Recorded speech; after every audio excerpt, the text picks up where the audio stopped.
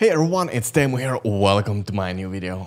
Uh, it's time to react to yet another song, and this time I'm going to react to a new song that came out lately by the band Baby Metal because, well, I've been reacting to a lot of like Japanese metal rock music lately, so I keep going on with that because I, I think it's it's cool stuff to do. So, um, without the further ado, let's just take a look at the song and then just discuss a little bit about the observations that I do. So, here we go.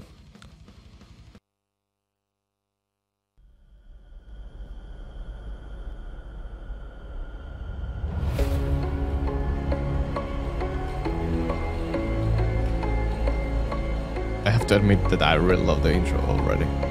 Really epic.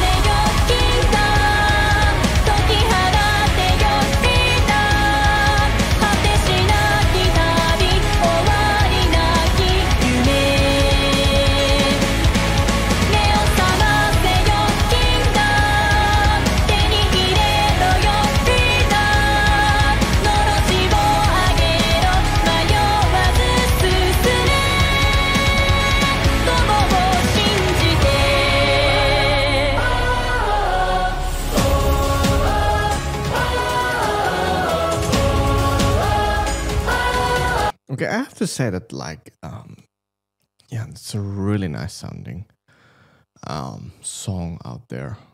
It's really really good songwriting and I think especially like again the production side of everything like these huge layers and everything like um, an orchestrated sound out there and I think again like that post chorus melody thing it works really well as a hook here as well besides the chorus itself. So nice.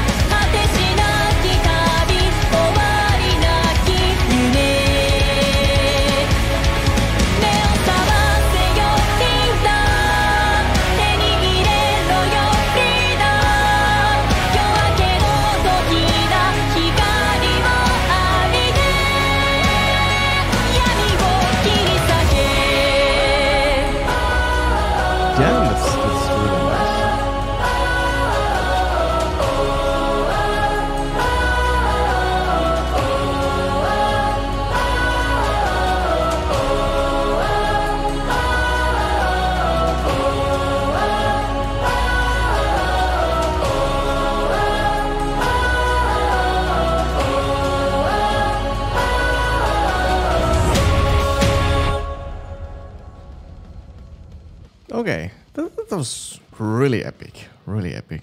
And I have to say that it was, um, I don't know, it sounded like an epic metal ballad, and um, it, it, I'm, I'm quite speechless after that because you know there was so much cool things going on, like like the sound wise, it was like really on point. I think if I remember correctly, it was also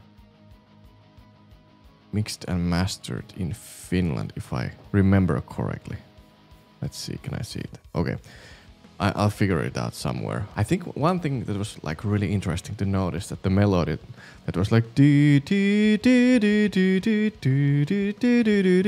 thing, um, it was the same rhythm was used in the chorus itself. The chorus melody was that, but rhythmically different. So I think that's like a genius way to approach to have like having the same kind of melody and uh, build things around that. And I think it's just like four or five notes probably there. It's a really good example how quite simple things is, are possible to make sound a little bit more complex and also really like a high quality thing in a way when it comes down to songwriting and you know writing melodies. So that's like basically minor pentatonics and one of the first things like usually guitarists learn to use on the on the fretboard when it comes down to soloing and stuff. But other than that, I think I'm really looking forward to hear what the new um, album is going to sound like. So um, yeah, I hope you really enjoyed this this video and um, enjoyed watching it. So remember to subscribe and put the notifications on, and yeah, hopefully see you on the next one. Goodbye.